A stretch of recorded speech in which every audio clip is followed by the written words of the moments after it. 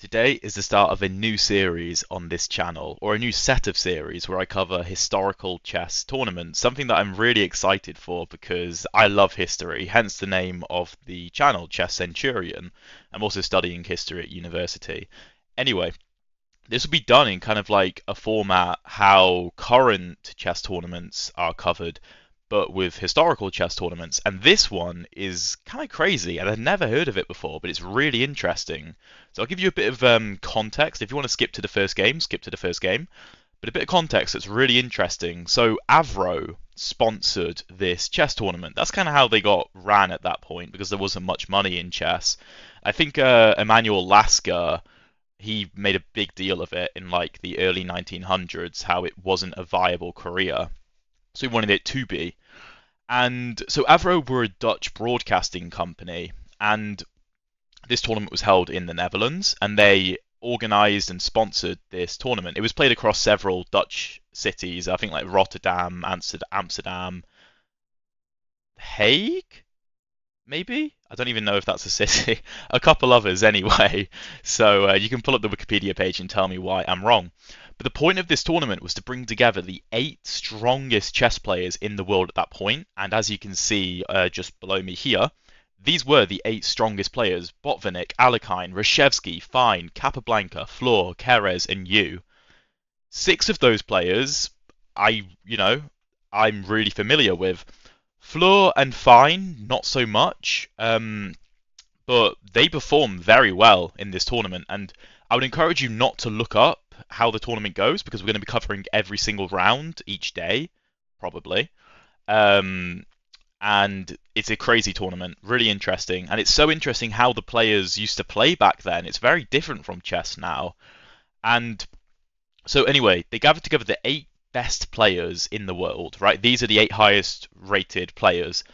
And the goal was to try and find a challenger for Alexander Alekhine because he was a long reigning world champion at this point for like I don't remember how long, but at least 20 years, um, at least until he died in 1946.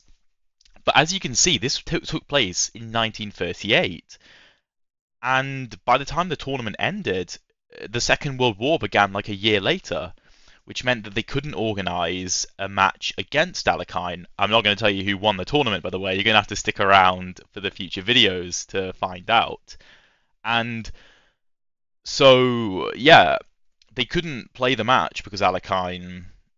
Well, sorry, because of World War II. But then Alekhine died in 1946, a year after World War II ended in 1945, and that meant that FIDE now needed to get another tournament together to decide who would be the world champion because nobody could challenge Alekhine at this point. Five of the players from this tournament were recalled in 1948 to take part in this tournament. Capablanca and Alekhine were not recalled because they'd both passed away at that point.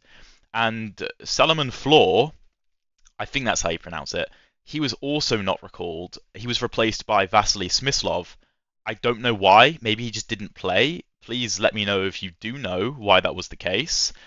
And um, yeah, it was very interesting tournament that had important ramifications for the future of chess world champions because it affected how the 1948 tournament had turned out. So anyway, I know this is a very long intro. If you skipped ahead, that's cool. Let's get into the first game. This is very interesting. I hope you enjoy. Alright, let's get into game one between Salomon Flohr and Jose Raul Capablanca from I think it was Czechia at the time and Cuba. So, by the way, stick around for the last game between Botvinnik and Fine because that's a crazy one, and they actually had commentary notes from Fine um, annotated with the moves, which is really interesting to see. Anyway, this game it's not that interesting because you know it's top level chess things. I know this was like 80 years ago, 90 years ago, even 85, whatever. But top level chess was still top level chess. We have a Slav defense, knight f3, knight f6. I play the Slav a lot, so it's very interesting to see how Capablanca handles this position. He takes here, so the way that I tend to play this position, I'm not comparing myself to Capablanca whatsoever. The way I tend to play it is in like a semi-Slav structure, and if white goes for this sort of setup, uh, okay, let's just say bishop to d6 because this bishop isn't coming out to g5. Maybe you have a move like bishop d3. Now I like to take on c4 because after bishop takes c4, the bishop wastes a move coming to d3 first, and then you force it to c4 instead of taking and allowing the bishop to move in one go. And then moves like b5, not b6, b5 are playable to get the bishop out to b7, maybe play a6 to support the pawn, even push b4 to kick the knight. You can consider moves like c5 in the future to open this bishop up and attack white's center. Capablanca doesn't play it like that though. Capablanca takes on c4 on move 4. And Flohr plays a4. You might be considering the move e4 in this position, opening up the bishop's attack on c4, supported by the knight, and not attacked by the d-pawn anymore, because the d-pawn captured on c4. This is typical Queen's Gambit type positions. But the Slav is a bit different, because the pawn is on c6 rather than e6, and b5 is playable, with support from the c6 pawn, to attack, sorry, to defend your extra pawn. Computer gives this zeros after moves like bishop e2, b4. The position gets kind of crazy. You know, knight there, knight back to b1, knight takes e4.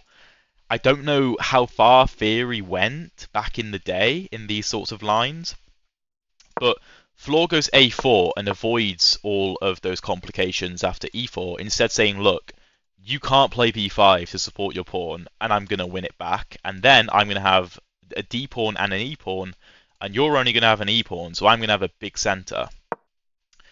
Bishop f5 controls the e4 square twice, so e4 can't be played. Because if Capablanca gets lazy here, and I don't know, plays a move like e6, then after e4, white kind of takes over the game the bishop is going to be coming out to c4. There's not a lot you can do about it. You can play b5 because the knight is kind of overloaded.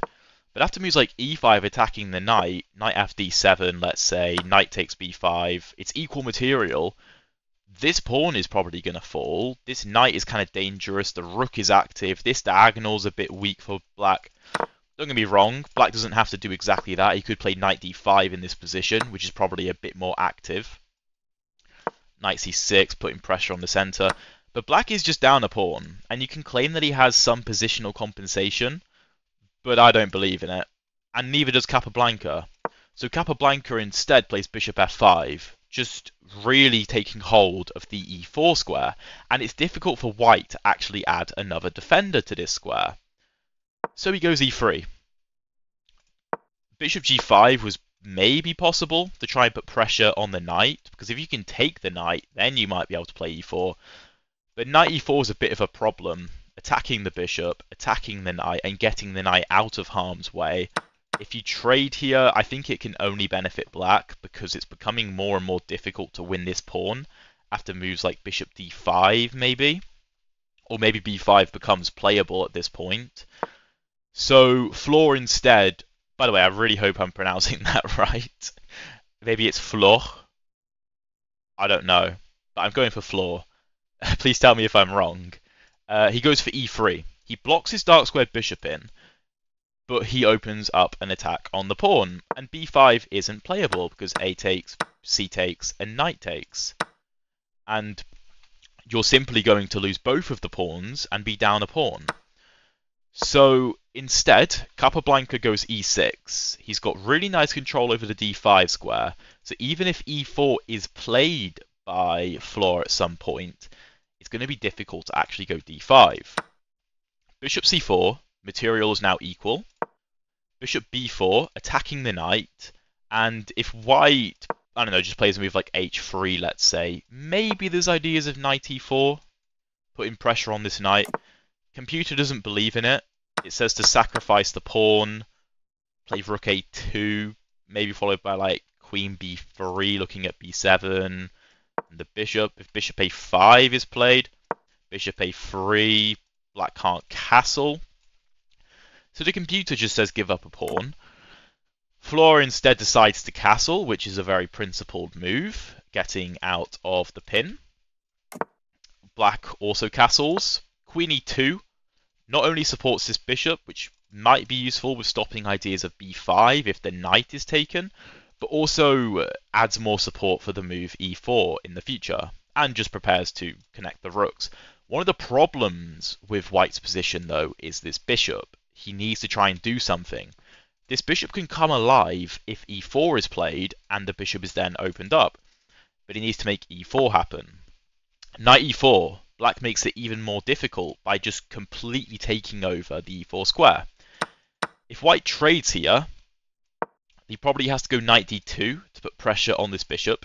If you get this trade, it's good for white, I would assume, because white has the bishop pair. f3 is probably going to come in to support e4 with tempo. Bishop c3, this diagonal might open up if d5 is played in the future. This bishop may drop back here at some point to put pressure on this long diagonal. The position is very comfortable for white. But black is of course not obliged to take this. He could play a move like bishop d5, offering a trade. He could drop the bishop back to g6. He could even play bishop c2 apparently, which is just weird and offer a repetition like this. So that's kind of hilarious. But that's not what we get. Flohr doesn't take. Flohr goes knight to a2. So yes, he relieves some of his pressure on e4, which is going to make e4 harder to play. But he goes, yo, Capablanca, Jose, yo, Jose, where you moving your bishop, bro? If you support, mm, not like that. If you support it with the queen, I'm just going to take you, and I'm going to get the bishop pair, and I'm going to put a knight on e5, and you're not going to have a good time. Capablanca is obviously one of the greatest players ever, and drops his bishop back to e7, and goes, yeah, okay, I'm a bit passive now, but what is your knight doing on a2, bro? If you go back to c3, maybe I just come back to b4 and offer you another repetition, because Capablanca is playing black, and this isn't a case where he can just steamroll everyone. Capablanca is getting a bit older at this point. I think he's in his, I think he's like 51 at the time of this tournament. I was doing a lot of research into it, or at least with the information available, and um, he's not what he used to be, but he's certainly still a very strong player, no doubt. Bishop e7, bishop d3. So Flohr decides that he's going to put pressure on the knight with the bishop. If he can trade the bishops off, then maybe e4 becomes a lot easier to play if the knight can come back to c3. Remember, the queen is also supporting an e4 push, potentially. If e4 is played in this position, I don't think it works. Knight f3, queen f3. You can't take here because your bishop's hanging, but bishop g6. Apparently it becomes hard to defend d4. If you go for a move like bishop to e3, c5, and this bishop is undefended. So the best move is apparently bishop e2 giving the pawn up, or knight c3 giving the pawn up. And if you go queen e3, Bishop f6. Again, it's difficult to defend this. If you try and push e5, ah, then yeah, there's still pins. Bishop d3, queen d3, and bishop e5 you can't take because of the pin. Flohr is obviously one of the best players in 1938. He's also rated over 2700, which is far higher than I will ever be. And after knight g5, he doesn't push e4. He goes knight e1. Now, some of these knight maneuvers, they will continue, by the way. Just so weird. Like, knight a2, knight e1. Eventually in this game, there's going to be knight h7 as well. Like, it's so strange the way that they play. And the, the engine blesses a lot of it. It really does. Which is, I mean, I say surprising. These are some incredible players, obviously, but it's just very strange the play style. You don't really get that nowadays. Players, I don't know, they're more confrontational. I feel like, and more concrete with their calculations. Whereas back in 1938, Flohr's just like, oh, your knight's kind of stupid, and you want to trade knights with me, so uh, no. No, what's your knight doing? If your knight comes back to e4, maybe I go f3. And then e4 is far easier to play because I have the support of the f pawn. bishop g6, queen f2, defending the d4 square. This becomes far easier, even though knight e1 looks so ugly. Very interesting playstyle, and I feel like it's a bit more reminiscent of like over the board club level chess. I'm not saying they're club level. I'm saying when I play club level chess over the board, so like 1900 2000 ish is the type of player that I tend to play against. This is a bit bit more what it's like. Like more just maneuvering and just strange moves, especially with some of the older guys. But bishop d3, and the point of knight to e1 is revealed. You're going to take the bishop back with the knight, and then the knight becomes pretty active. Black does not have to take here. Like I say, knight e4 is playable, but then f3. But I guess the point is, if you play some kind of waiting move, then f4 is coming. And if the knight tries to slot into e4, then g4. If bishop goes back to g6, f5 cuts the connection off from the bishop and the knight. So black could get himself into a bit of trouble here if he doesn't handle the position correctly.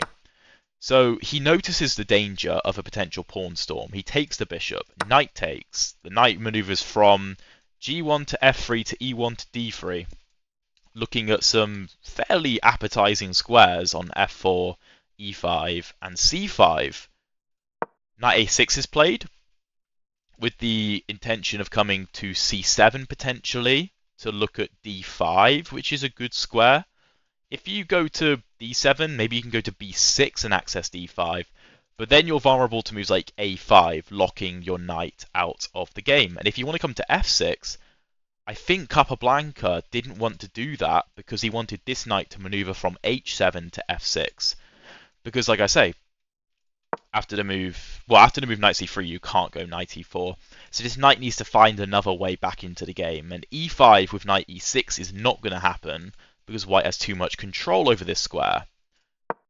h6 is played here. By the way, f5 was apparently the best move. Just fighting for this e4 square, going, yeah, this is an ugly pawn. Maybe you can put pressure on it. But I don't want you to play e4, because once you play e4, your bishop comes alive, and my knight becomes a little bit silly. But h6 is still a great move. H6 with the intention of rerouting the knight through h7 to f6, probably.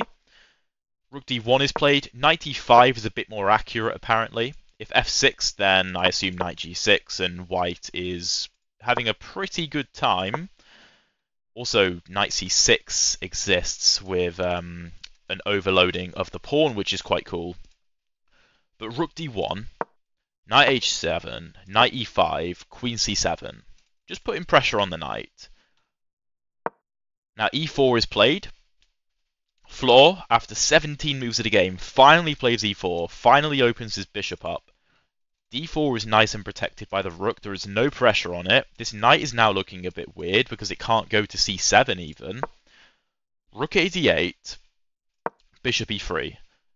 Now, the computer doesn't love bishop e3, it prefers bishop f4, and there's some really interesting lines here.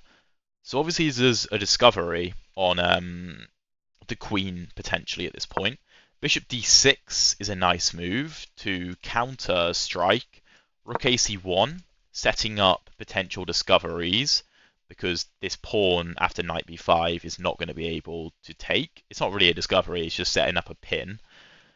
And the only real move here to play on is bishop e5, bishop e5, and queen to e7. And black maintains some kind of equality, although white is pushing, probably because of the better space, better placed pieces. If black plays a kind of waiting move, I don't even know what you would play. Let's just say rook fe8, then knight b5 is a problem because we're attacking the bishop, we're attacking the queen. You can't take because of the pin. Queen b8 and knight c6. Attacking the queen and the rook, so you have to take this. Then knight d6, and this attack is opened back up, again exploiting the overloading of the pawn. And kind of showing, yeah, this knight on a6, it's very awkwardly placed. Black has to find some moves like knight b4, give up the exchange, but white wins, essentially. Better, better than making a waiting move because you're not going to play this, is um, obviously you can take, but you can also play the move knight c5, which is just really weird. Because if you take, then takes, and black's doing well. Black's doing well here. The, the pawn structure is now symmetrical. White loses his strong d4 pawn. White's probably still in the driver's seat, but black's doing fine. The knight's a bit stupid as well, because it can't really go anywhere useful, because it's restricted by this c6 pawn. So, yeah, you don't have to take this, obviously. Uh, better is like queen e3, and I guess it's just a lot of tension in the position. But we get bishop e3. We get bishop e3. And after knight b4, rook ac1, knight to f6, knight b5 isn't as effective here because queen b8, and the knight just has to retreat. So after h3, queen a5, queen c4 is played. This is apparently inaccurate, b3 is a bit better, knight c4 is a bit better attacking the queen as well, but queen c4 is played. I honestly couldn't tell you the point. I guess the queen can't really be attacked by anything, but I don't know what it's doing. Maybe trying to set up some sacrifices on f7 with pressure on e6. But without a light squared bishop, that's very difficult. Knight d7, knight f3, knight b6, queen b3. The game is basically drawn at this point. Queen a6, just gets on this diagonal, controls c4 a bit better. Knight e5, knight d7 offering a trade. White declines. Black again offers a trade. White now accepts it. If the queen takes, then I assume d5 with a discovery. And a lot of pressure on e6 is a big problem for black. So he takes with the pawn instead. d5 anyway. Takes, takes, knight d3. Now d3 is a very accurate move, because if you take again, moves like knight b5 are apparently a bit problematic for black, because now knight d3 is not playable, because the queen's scope is cut off. You may have ideas like knight c7 or rook c7. d5 is probably going to fall after a move like bishop to d2 pressuring the knight. B6 is also vulnerable, and this bishop is kind of not doing a whole lot apart from just defending the knight. So this was apparently a bit of an issue for black, and a sample line with rook d7, knight c7, queen a5, bishop d2 kind of shows how this could become a bit of an issue for black, but it's nothing major. Knight d3 is a bit more accurate though. Rook c2, because obviously the rook's under attack. Knight c5, takes, takes, knight e4, takes, takes, takes, knight c5. This game does get interesting. It does. I know everything's getting traded, but after d4, rook d5, the material's equal. It's rook and queen versus rook and queen. Now, white's pawn structure is a bit better than black's, and he also has a bit more activity. His rook is pressuring this pawn, the queen is doing a good job defending a ton of stuff. This rook is a bit passive and these pawns are split. White's pawns, however, are together, so if, b3, if b3 is played, then it can defend the a4 pawn, whereas black's pawns can't do that. This game shuffles a bit. Queen e6, pinning the queen to the rook. Queen f3, putting pressure on b7, and then going, you know, if you play a move like rook to e8, then I'm going to take on d4 and grind out this pawn up endgame. Queen goes back to b6, defending this, attacking b2. Rook back to b5. Queen a6, putting pressure on a4. Queen b3 defending. And queen d6. Rook d5 Queen e6, again pinning, so you can't take. If um, the queen takes on b7, then queen e1, king h2, queen takes f2 is a bit of an issue because you are defending the d4 pawn. You can maybe try and push these queenside pawns, but realistically you're probably going to get into some kind of perpetual. But after queen f3, black goes queen c6. And apparently this is a mistake. After b3, the queen defends b3, the b3 pawn defends a4, the queen defends the rook. And how are you protecting d3? So the most accurate line, well, one of the most natural moves, or most accurate moves, is rook c8 here. And after rook d4, queen takes, pawn takes, white ruins the kingside structure. But it becomes difficult for black to hold on to his pawn on c7, and the white king can march up. White is a pawn up, and you know, if both of these pawns were taken off the board, probably a draw, especially considering the weakness of the white king side. But 2v1 is a bit more tricky, and the white king can run out fairly quickly. Now, in this position, wait, was it rook takes d4? Let me check. Let me let me check exactly how it ended real quick. Okay, yeah, so instead of b3, rook takes d4 was played in this position. b3 defending a4, and also after queen c1 check, the b2 pawn wouldn't be hanging because it's on b3. Now, if this queen trade is played, you have a similar sort of position to what I showed here. But you don't do that. As black, you play queen c1 check, and after the block, or king h2, you take on b2, and now it's completely drawn because the pawn structure is uh, essentially identical. But yeah, white just missed the idea of b3, and queen c1 is now lo no longer effective to pick up b2, and d4 is falling. White misses this, and this game is a draw. Game 2, Samuel Reshevsky versus Alexander Alekhine. We and Alekhine is like undisputed world champion, best player in the world at this point. Botvinnik is actually higher rated, as you can see in the lineup.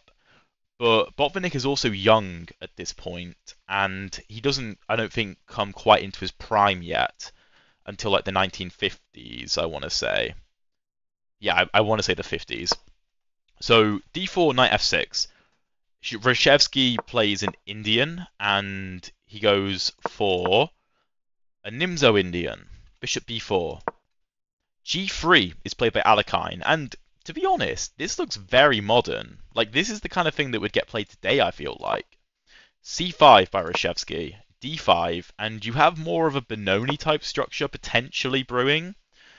If, um, I don't know, something like this were to happen and like d6, you have a very Benoni uh, style of game. Knight e4 is played immediately, just putting a ton of pressure on this knight. Bishop d2, take, bishop takes, knight takes, and pawn takes. So two sets of minor pieces come off the board, and this position looks fairly drawish, with quite a few pieces already being exchanged, but later on, this game gets pretty wild. et5, cd5, d6, knight f3, castle, bishop g2, all just standard developing moves really. Knight d7, Alekhine castles. Reshevsky puts the knight on f6 to pressure white's center. Knight comes back to d2, which I guess opens this bishop up. Um, c4 is a move that I would kind of expect to be played just to secure this pawn forever. But maybe moves like b5 undermining Alekhine didn't really like, although I don't know, maybe queen b3 is nice in this position. Queen d3 is apparently the best move, but not by much. Knight f6, knight d2. Maybe Alekhine wanted to leave the c4 square open so that he could go a4 and knight c4 to put pressure on the weak d6 pawn. Rook e8, e4, b5, rook e1, rook b8, a3. Alekhine makes it very difficult for Reshevsky to play b4 because if he tries to go b4 at this point, takes, takes, takes, takes, you can just take on a7. Your upper pawn, black has some decent counterplay. Maybe this bishop's going to come alive, although I'm not really sure where to. like d7 isn't that appetizing. Queen b6 is also playable, hitting some of the weaknesses in the white position. Rook a8, Knight g4 is potentially coming in to put pressure on f2. This position, whilst you're a pawn up, isn't that comfortable for white because black is dominating the queen side. Rook b7 is played by Reshevsky. Eh, kind of a weird move. I guess it defends a7. And maybe you want to just play b4 anyway. But then I don't know how you're going to take this pawn back. Maybe queen b6 is brewing. c4 by Alekhine. If b4 is played, then ab4. You can't play rook b4 because of rook a7. cb4, knight b3, and c5 is going to be a problem because a5 is under lock by the knight and the rook. a7 is still pressured by the rook. This pawn can't move anywhere. c5 is now supported by the knight. And if c5, let's just say black plays a waiting move, if a move like c5 comes in and d takes e5, I don't know if this works in this exact position, but if the knight has to like retreat to d7, this is going to become incredibly difficult for black to manage, especially with the alignment of the bishop to the rook. Moves like e6 coming in, black's bishop is horrible, and I mean, white just has a whole lot of activity in this position. Reshevsky, however, is rated over 2700.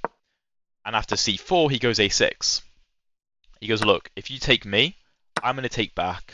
And now my pawns might actually be kind of dangerous. And your a3 pawn, not so much. If you go a4, I'm going to go b4. And these pawns could get rolling. Bishop f1 by Alekhine. An interesting move, saying, yeah, this diagonal's not opening up anytime soon e4 is very well defended, and because e4 is well defended, d5 is well protected. So instead, this diagonal looks more interesting, and I'm going to get my bishop on that one. Bishop d7 kind of tries to counter the bishop on f1 because they're both staring at b5. f3, just securing the e4 pawn to kind of relieve the duties of the knight and the rook. And it's very unlikely that this diagonal is going to become weak enough for f3 to be a problem. Queen c7, Queen c2. Both players just developing. Rook e7 is a bit of a weird move. I don't think I could really explain it, to be honest. But yeah, let me know if you have an idea of what that was for. Knight b3 is played. Again, if you take this as Reshevsky, the knight is going to come back to d2 most likely, and you want to play knight takes c4. Let's just say a move like h6 is played you apparently don't even have to rush with it. But if you do go knight c4, okay, then bishop b5, trying to trade the knight off for the bishop. So a4 is a bit better, not allowing this. Again, let's say a waiting move is played. Then knight c4. This knight is very strong. e5 might be coming in at some point as well. Maybe f4, e5 to again create a bit of a passed pawn situation and then knight blockades the c5 pawn very nicely. a5 is played by Reshevsky, and this is an inaccuracy, because after cb5, bishop b5, Alekhine goes queen c3, and his point is that a5 is quite weak, and maybe white can control the b file. Rook, bishop f1, sorry, rook f1, rook b5 defends a5, rook a b1 the computer likes this maneuver, but okay. Rook b1, queen b8, knight d2, rook eb7. So I guess the point of the rook going to e7 is made clear because I suppose I suppose Reshevsky wanted to control the b file with the two rooks first and then the queen behind instead of the rook coming to b8 and the queen going to e7. Rook b5, rook b5, knight c4, again pressuring a5, pressuring d6. f4, e5 might be coming in at some point. This rook is kind of free to go where it wants. This knight is also not great, because if this knight drops back to a square like d7, I know a5 is hanging, but we're not going to worry about that. f4 just takes away the knight's future. It's not going anywhere. And e5 is going to be coming at some point. It's going to be an issue a4 is played, going, yeah, there's a lot of pressure on this pawn, so I'm just going to move it. e5, de5, d6. Alekhine doesn't take the pawn back. He could have played queen e5 and traded the queens off like this, but then your winning chances are severely reduced. c4 attacking the pawn, you're going to have to take here. You're just going to trade down into a drawn endgame. If anything, black is maybe a bit more active. But d6 cuts the queen's connection to e5 off, and this pawn is two squares away from promotion. Rook b1, trying to trade queen e5, takes takes, and queen to b3. If the queen starts trying to give checks, then Okay, that actually blunders the knight, so don't do that. King e2 is the most accurate, and after queen c2, knight d2, you can't play this check because the knight controls that square. This is still a drawn position after c4, I guess threatening queen d3, but it's also the only move. Queen d4 defending the square, putting pressure, preparing d7. Black has to find some difficult moves. I guess c3 makes sense though. d7, you have to sack the knight, and everything...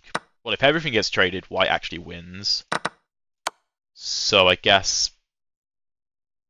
Oh, you're getting back rank mated, so g6, but the knight isn't going anywhere because it's pinned. Queen d3, queen b2 maintaining the pin. It's an interesting position because you still can't take because the queen would hang. And if you take with the queen and trade everything, then white's going to win a4.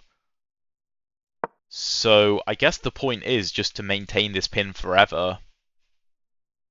And if the king tries to move, then here, here, a3 is going to hang with check. Very interesting position. Really is. Because black's down a piece, but this pawn is putting so much pressure on, and his king, it's vulnerable, but it's not going to get checkmated by just a queen. Queen b3 is played though. Queen e2, defending the knight, which is defending a3, and defending d6. h6, just making sure that he doesn't get back rank mated king g2, queen c3, knight e3, and the game is drawn. The game is drawn. g6, knight g4, attacking the knight. All black needs to do is trade, and the queen and pawn endgame is apparently a draw. Queen d4 attacking the pawn, queen e7 defending. This isn't what happened, this is just what could happen. Give some checks if the king runs off to h3 queen d3 prepares queen to f1 with potentially some mating ideas. So the king has to return really, and the checks just kind of continue. But king g7 is played. And this loses the game on the spot to knight f6. If king takes f6, d7, and you can't stop this pawn from promoting, queen d4 defends, queen to e8, you can't add another defender to this square. And if you start trying to give checks, the king can hide on h3.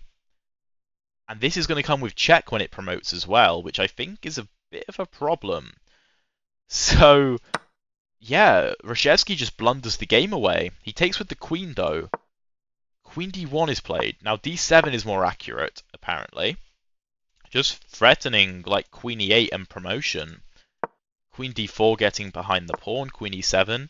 Again, if you start trying to give checks, you can't you can't check the king again.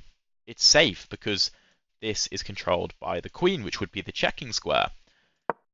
Alekhine goes queen d1 and kind of gives his advantage away.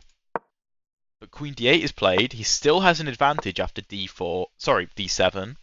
c4 and he takes on a4. And apparently this gives everything away after c3 because this queen is going to be deflected. Black is going to take here, and black can handle one pawn considering the weakness of the white king. What Alekhine needed to do was go queen to d5, and if c3 is played, then queen e5 check. If the king goes to g8 or well, he can't go to h8, then queen e8 check wins the game. If the king goes to f8, check. If the king stays on the back rank, then you lose. If you go back to g7, then the c3 pawn falls with check. If the king goes back to h7, queen c8, you can't stop promotion. So what black needs to do in this position apparently is go f6, blocking this diagonal. Again, you can't take because of takes. Queen c6, again trying to go for queen to c8. King f7. If queen c8, then king e7. Black is okay. It's crazy. King f7, you can take here of check. King e7. The pawn is falling. Queen e4, take, take. This is the best line the computer can find. It's wild. But Alekhine gives the game away. Queen a4, c3, queen c6, c2, check, king h7, take, take, Alekhine's up a pawn, and he's going to try and convert this. He's going to try and push the pawn, but the black queen blockades, gives some checks, and there's really nothing that Alekhine can do. He tries to bring his king, but it's just going to get checked forever. I don't know if that was a threefold repetition or not. No, they just agree to a draw in this position. And yeah, Reshevsky draws to the reigning world champion, Alexander Alekhine, in game two. Very intense match. Alekhine should have won after this whole uh, knight, sorry, king to g7, but some very intricate lines that actually allowed him to win. And, you know, people are human at the end of the day. So, game three Paul Keres versus Max Euwe. I think it's Euwe. I hope I'm pronouncing that right. From the Netherlands versus Paul Keres from Estonia. We have d4, e6, c4. By the way, stick around for next game because the final game, Botvinnik versus um, Fine, is wild. C4, bishop b4 check. We have another type of um, Nimzo Indian just without knight f6. Apparently, this is the Keres variation, and um, I mean it's named after this bloke clearly. f5.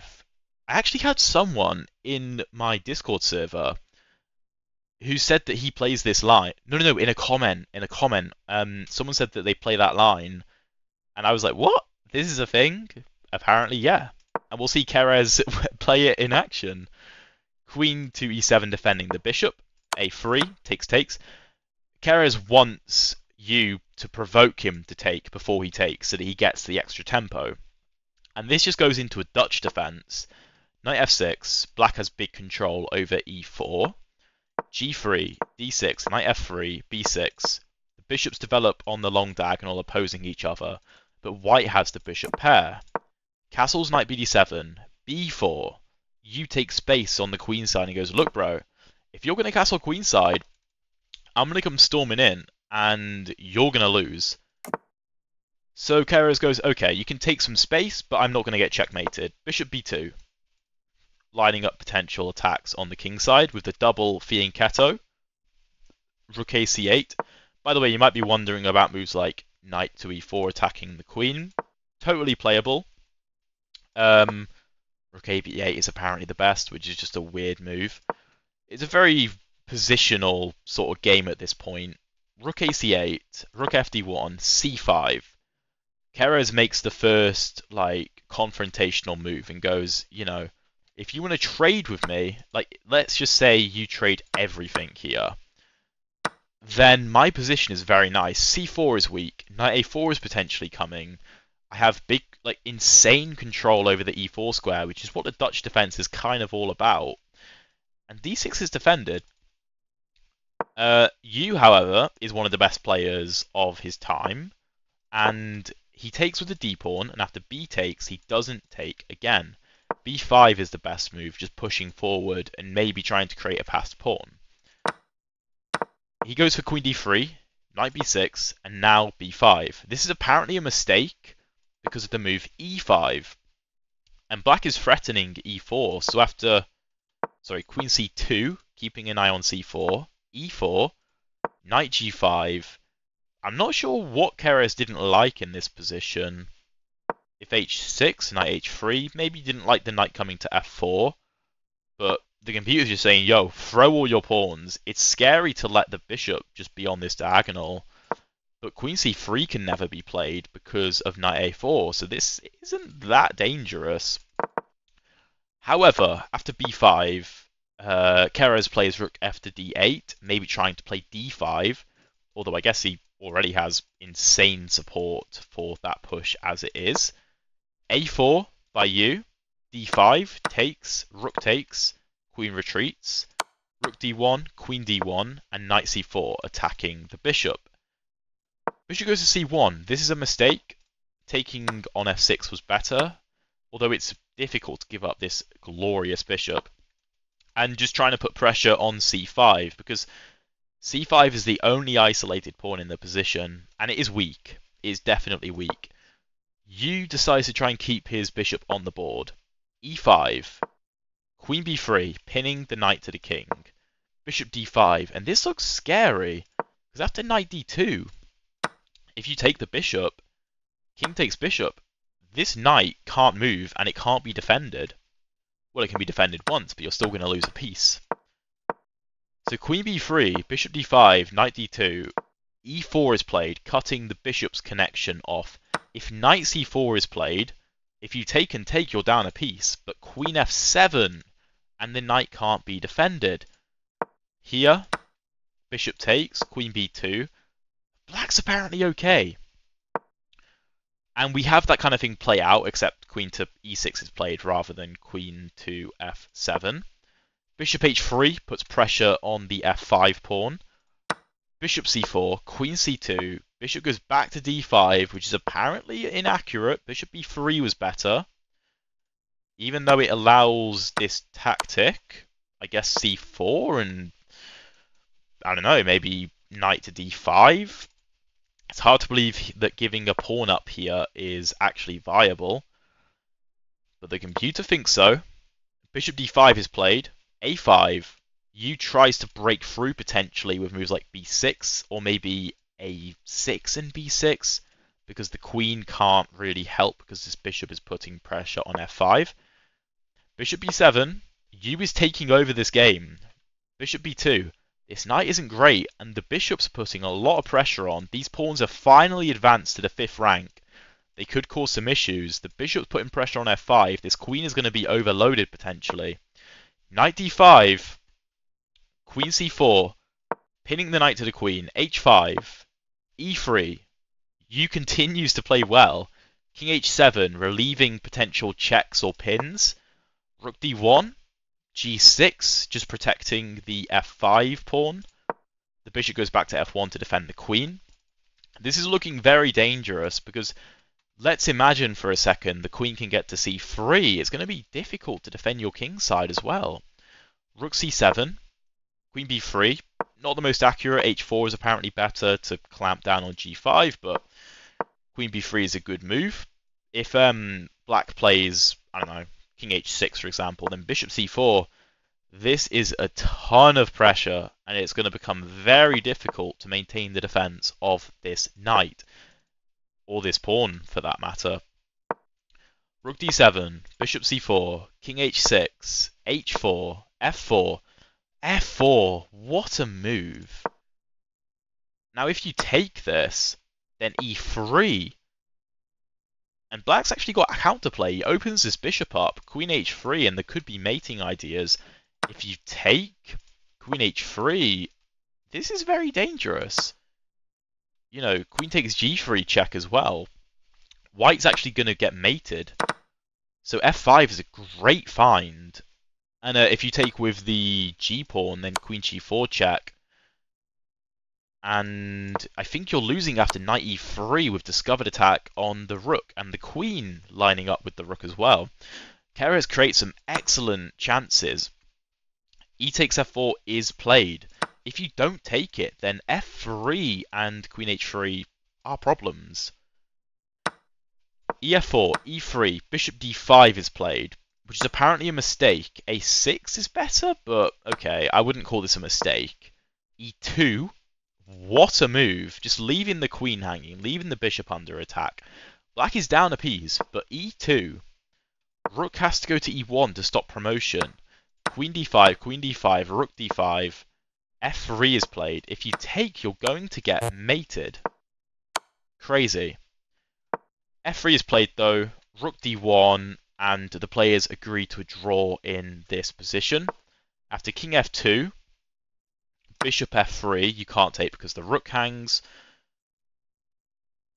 It's basically going to become an opposite coloured bishop endgame, and the players believe this is a drawn position, which it probably is. Maybe black can try and push for something, maybe white can try and push.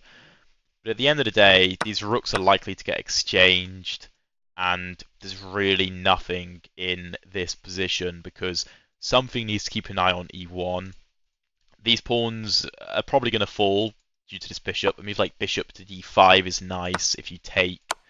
The game is basically over because you can't defend. This bishop's going to probably pick up these pawns.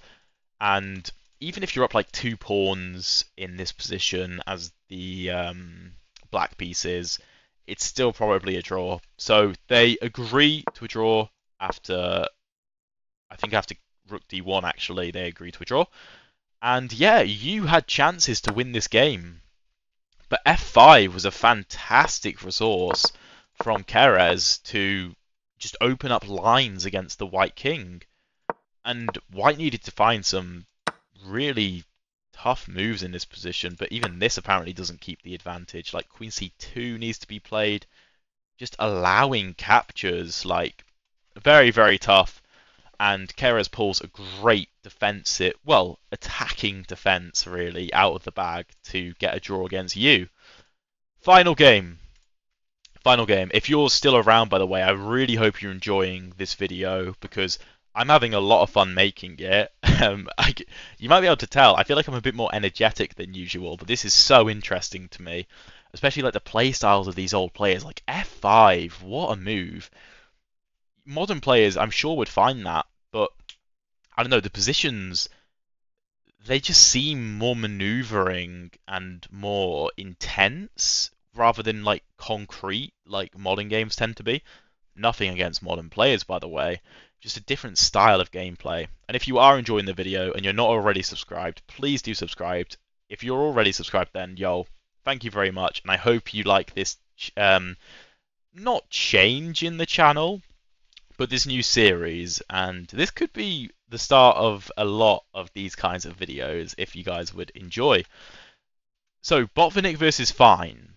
Botvinnik, after uh, World War II, becomes one of like an incredibly dominant player, and he kind of like starts the whole Soviet hegemony over the chess world, and you know he's kind of considered the father of Soviet chess, the Botvinnik school of chess, the Soviet school of chess. Botvinnik is at the head of it all, and he's young at this point. I can't remember exactly how young, but I want to say in like his 30s, may yeah, maybe his 30s, maybe late 20s.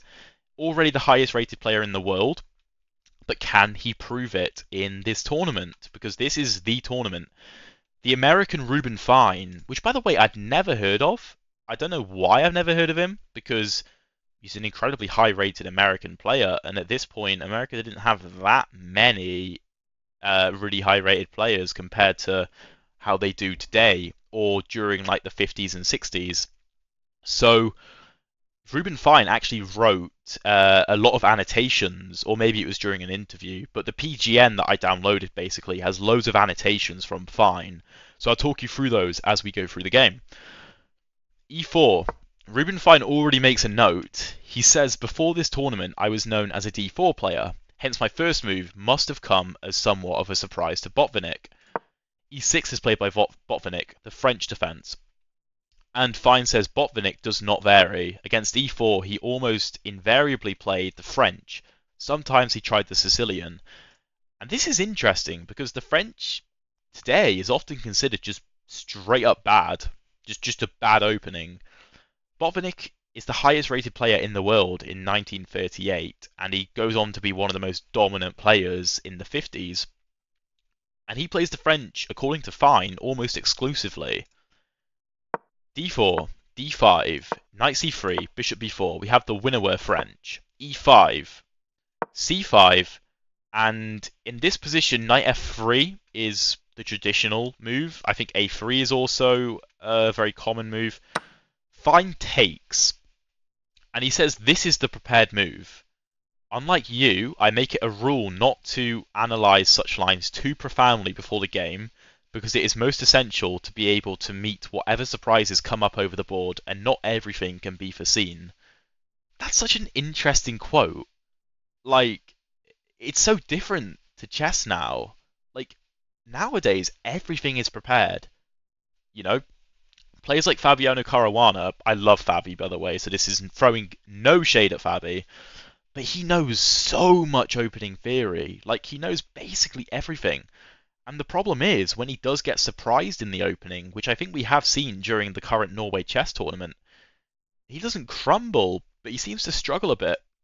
Whereas what Rob, what what uh, Reuben Fine is saying is, you know, some players like to prepare against as much as they can, and he's saying that Max Euwe does this. I don't know how accurate that is, but apparently so. And he's saying, look, I I'll look at some lines, but I'm not going to do it anything over the top because chances are I get surprised, and then what? I've wasted a bunch of time preparing openings that don't even happen. Really interesting take from you know an incredibly strong player. 97 although I suppose opening prep was a lot more difficult back in 1938 because obviously you don't have computers and you also don't have that many like chess books compared to what would have been the case in like the 70s with Bobby Fischer. So 97, knight f3. Of course, this can just be taken, but Fine may have prepared at knight to a4. If the check is given, I assume b sorry c3 is the idea and maybe you just chase the bishop all the way back to c7 because the knight controls b6. Very interesting type of French structure because you hardly ever take here. But that's not what's played. Knight bc6 is played, bishop d3 and d4. Apparently this goes back into some theory. The knight is hanging and it can't move because of the pin, but a3 is the only move. If you take this, then a b4, c b2, bishop b2 with knight b4, bishop e4, and c2 is defended, b7's under a bit of attack. The queens can get traded in this position. By the way, this isn't what happens. And I don't know, I guess, oh, I think it's better to take with the king and just maintain pressure on the a file.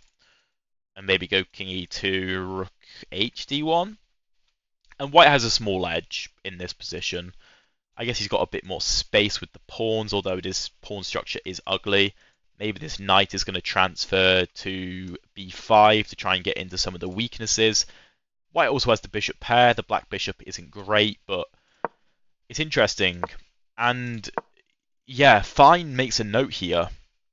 The d4 by Botvinnik is essentially Botvinnik accepting the complications he says after bishop c5 castles, white's game is freer.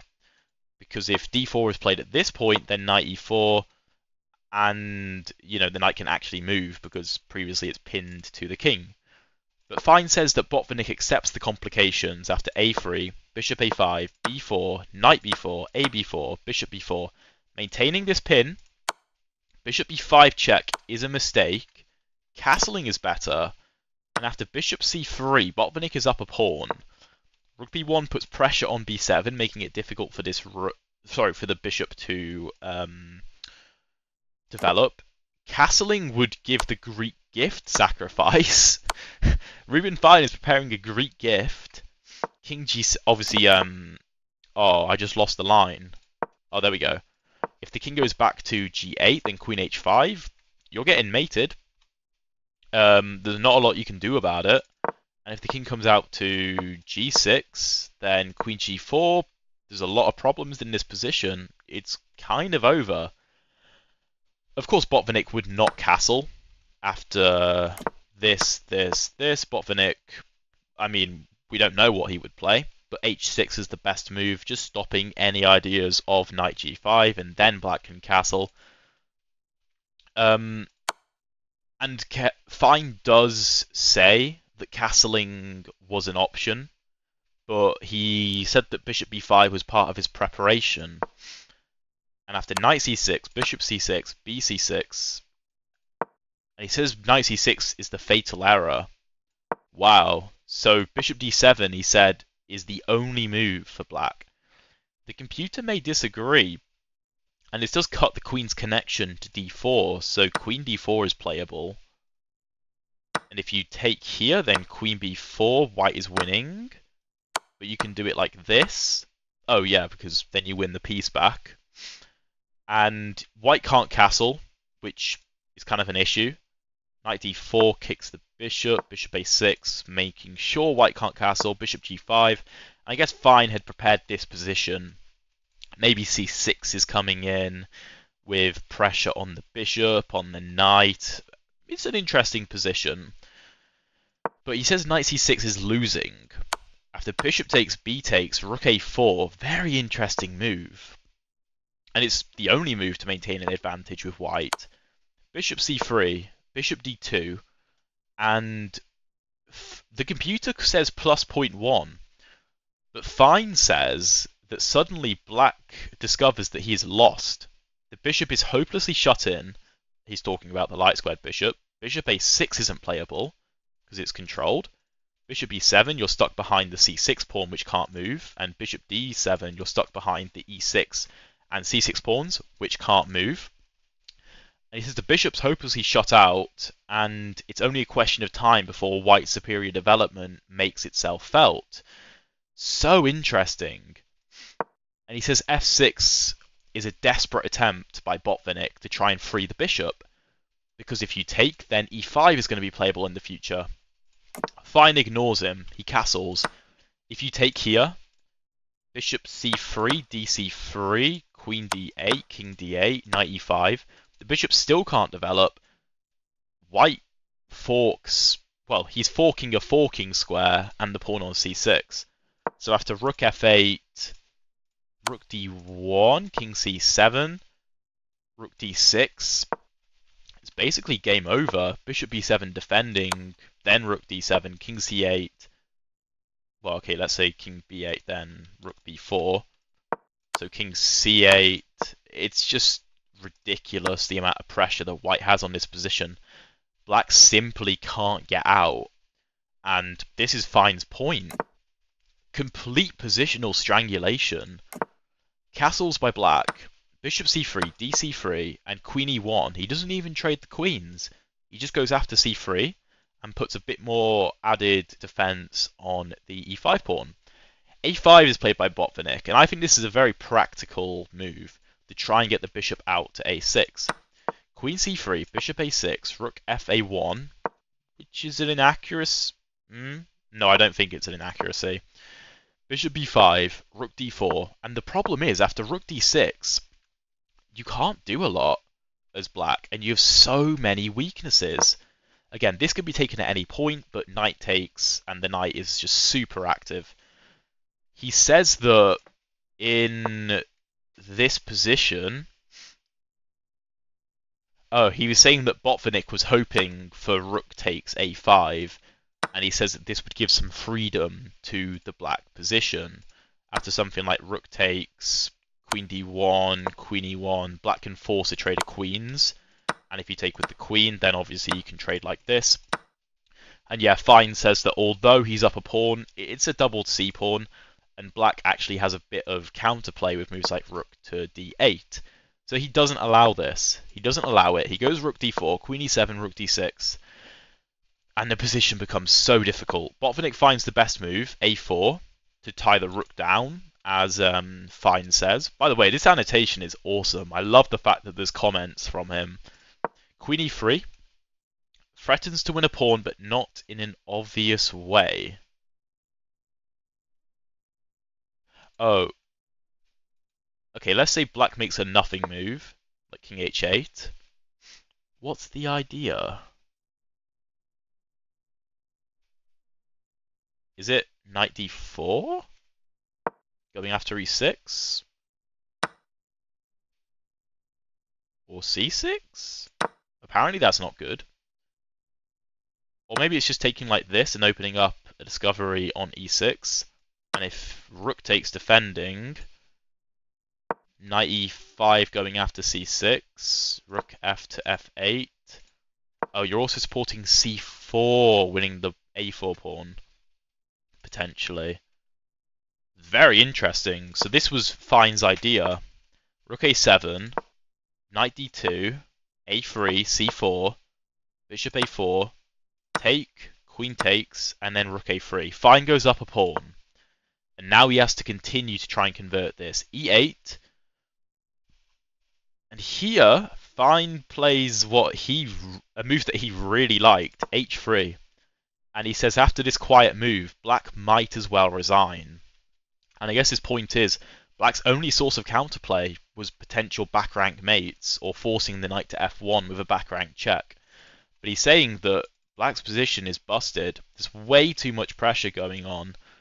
Once this knight gets into the game, it's going to become even harder as well. And if the rooks infiltrate the back rank, it, I mean, defending is going to be so, so difficult because the king can always hang out on a square like h2. Rook a to a8, knight f3, queen b2, knight e5, and you start to see the problems in the position. Queen b1 check, king h2, queen f5, queen g3, and in this position on move 31, Mikhail Botvinnik resigns the game in the final game of round 1, and I will show you the standings after round 1. And Botvinnik, the highest rated player in the world at this point, obviously it's just round 1, but he is bottom of the leaderboard. And yeah, Fine says in this position there's too many threats. Black can't guard the 7th rank. Black does not have a single move, and rook to f3 is threatened with rook f7, rook d7, and it's game over. Um, oh no, Botvinnik actually says this. He says black does not have a single move, and rook f3 is threatened, a combination of a splendid strategic idea with tactical subtleties. Wow. That's so cool the way that the players talk about the game like that. And the fact that we have access to that, it's like 85 years old. Like, that's awesome. Is it 85? 86? Whatever. That's so cool. And yet, black just doesn't have moves. The top computer line, rook a7, knight c6, the rook's under attack, rook a to a8. Sorry, no, sorry, rook a to a8. The rook just shuffles from a7 to a8 the knight goes back to e5, maybe forcing this in. But if we go more with Botvinnik's idea of rook f3, queen h5, I mean, you can't play rook f7 here because the rook helps out in the defense. The rook can go back to a3 according to the computer. Rook f d3 going for rook to d8 is an issue. The knight can jump to d7, trying to go knight to f6 if king h8 queen f4, you're threatening back rank mating ideas. And yeah, it is kind of game over. Maybe the knight's going to come in like this? White strangles the black position essentially. And Botvinnik loses, and he does it with grace, considering those uh, comments. And yeah, Reuben Fine leads the tournament in round one. If you guys enjoyed this video and stuck around until the end, I know it was very long, but I wanted to give these games the credit they deserve. I wanted to dive into some of the lines. Even on the games that were drawn, I know three of the games were drawn, but they were spectacular still. That F, what was it, that F4 move from Keres, crazy, crazy. Um, that's it for today's video. Uh, if you want to see round two, please let me know because I would love to make a video on it. And yeah, I love these historical chess games. Uh, I'm more than happy to be doing more of them, but for now, the Avro Chess Tournament has 14 rounds, so plenty more to go through. And I'll see you guys in the next video.